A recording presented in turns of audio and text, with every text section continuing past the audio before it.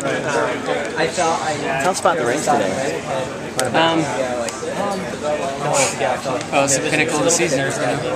And, uh, I think it means most of the season to everybody. Uh, just excited to come and perform on this stage at Hayward Field and the opportunity to run with good guys. Tell us about your little boy. Yeah, yeah. This is Paul. You want to say hi, bud? You want to say hi?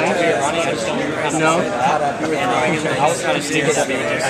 you're having makes a little bit of a move, and you just say, you know what, I'm going to go for it, I'm going to latch on. What, what was kind of the mindset there?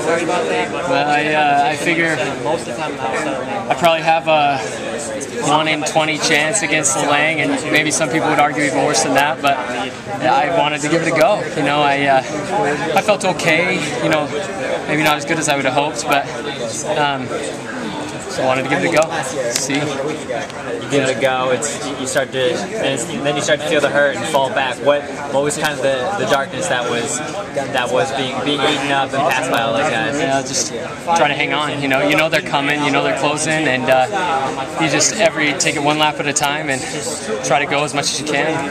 See what happens. You still got uh, eighth place, first first team All American. You happy with that?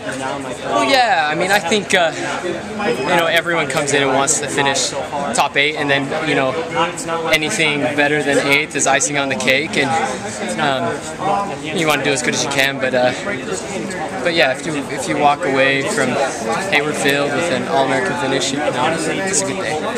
At, at the end there, did you? Uh, I mean, there's a guy close on you. I think you, you still had a couple seconds on him, but were you aware of people coming from behind you? Were you, were you know, worried I- about that? At that point, um, I was just thinking close as hard as you can.